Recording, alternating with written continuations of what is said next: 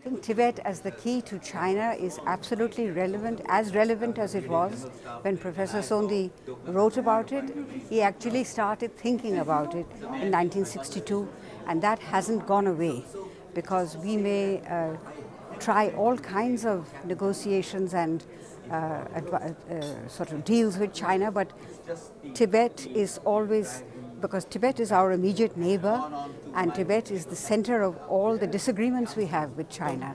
So I really think uh, that is absolutely 100% relevant today. My name is P.S. Krishnan. I belong to the IAS of the same batch as Mr. M.L. Sondhi. He was in the IFS. So we were together for our training. We had a long association on important social issues. So far as today's topic is concerned, for India to make a constructive and effective contribution to the situation of Tibet and also other issues between India and China, India has to be strong and the large sections of Indian people who have been affected by the caste system had to given the due place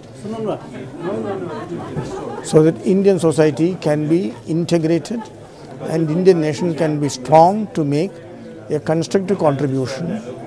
We admire the heroism of the people of Tibet, but for India to make a contribution effectively, India will have to strengthen itself socially, internally. I'm Dr. Nivedita Barthakur Sondhi. I come from Assam, but I'm married into uh, Professor M.L. Sondhi's family. Um, for me, I guess being married into this family has meant a very close relationship uh, with Tibet and the cause of Tibet, um, which I've grown to be uh, to be very fond of. I've had the opportunity to meet His Holiness Dalai Lama on several occasions, and the Sikh Sikyong. And I thought it was only uh, very pertinent today that the Sikh Sikyong was here to deliver a lecture in memory of my father-in-law, who uh, has uh, who had lived his life uh, speaking for Tibet, fighting for Tibet, and uh, it was a very emotional moment for our family today. Um, as the Sikyong uh, mentioned, my father-in-law uh, uh, quite a few times and his links with Tibet, and um, I hope my son and our family will continue uh, to be associated with the cause of Tibet as we go forward. And we hope that someday Tibet will be free and the Tibetans will welcome us in Lhasa. Thank you. Okay, I'm General Lamba. I'm the former Vice Chief of Army Staff. Uh, I have heard the Sikyong for the first time today and almost several years after this issue was raised by Professor M.L. Sondhi.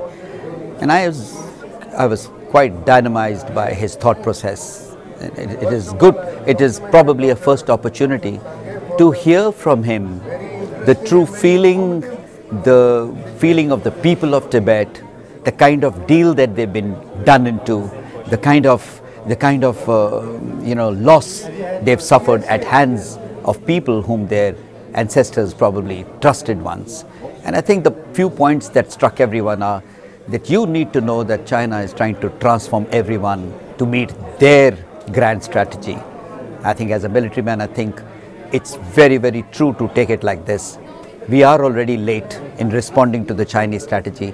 It'll be right to raise a voice and respond to their strategy today before, like uh, Sikyong said, before the palm gets into the fingers and into the frontiers of India. Thank you. Uh, I am Lieutenant Colonel Anil Bhatt, retired. Um, I think today we've had a, an excellent presentation by Dr. Lobsang Sangay on um, uh, with, with the kind of um, incidents and um, inputs that we got from this are, I think, um, very interesting, very un and unprecedented. And we also, of course, have Dr. M.L. Sondhi, God bless his soul, to thank for us getting together here today. And after all, uh, the theme of today's uh, uh, discussion was based on what he wrote. And he wrote that quite some time, you know, many years ago. And I, my, my observations are that in connection with what, Dr. Lobsang uh, Sangay stated, that I, I started by saying that unfortunately uh, His Holiness Dalai Lama is like a red rag to a bull for China. China is most, it, it, it's, it's like a, uh, it's most unreasonable in its uh, objections to India giving any support to him or any other country giving support to him, which goes even as far as meeting or shaking hands. Uh, and as it was brought out by Dr. Sangay, it is considered as a threat to China's independence. I mean, I, uh, that's what the Chinese uh, um, perception is. That anything, any support given to uh, any fr friendly gesture made to His Holiness, His Holiness Dalai Lama is a threat to uh, their independence.